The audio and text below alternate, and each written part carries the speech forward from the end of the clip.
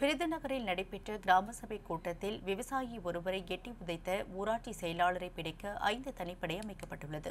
விருதுநகர் மாவட்டம் ஸ்ரீவில்லிபுத்தூர் ஊராட்சி ஒன்றியத்திற்கு உட்பட்ட பிள்ளையார்குளம் ஊராட்சி கங்காகுளத்தில் கிராம சபை கூட்டம் சட்டமன்ற உறுப்பினர் மன்ராஜ் தலைமையில் நடைபெற்றது. இதில் ஊராட்சி மன்ற தலைவர் அரசு அதிகாரிகள் உள்ளிட்ட ஏராளமான பொதுமக்கள் கலந்து கொண்டனர்.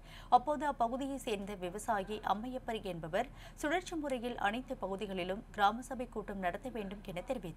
மேலும் அவர் பேசும்போது ஊராட்சி செயலர் தங்கபாண்டியனை மாவட்ட ஆட்சியர் மாற்றி நான்கு மாதம் ஆகிவிட்ட நிலையில் ஏன் மீண்டும் அவர் இங்கு வந்துள்ளார் என கேள்வி எழுப்பினார். இதனால் ஆத்திரமடைந்த ஊராட்சி செயலர் தங்கபாண்டியன் விவசாயி அம்மையப்பரை காலால் எட்டி உதைத்தார் மேலும் ஊராட்சி செயலருக்கு ஆதரவாக மற்றொருவரும் அவரின் கன்னத்தில் அறிந்தார். இவ்விவகாரம் பரபரப்பை ஏற்படுத்திய நிலையில் ஊராட்சி செயலர் தங்கபாண்டியன் தலைமறைவானார். இதனைத் தொடர்ந்து அவரை பிடிக்க ஐந்து தனிப்படைகள் அமைக்கப்பட்டுள்ளது.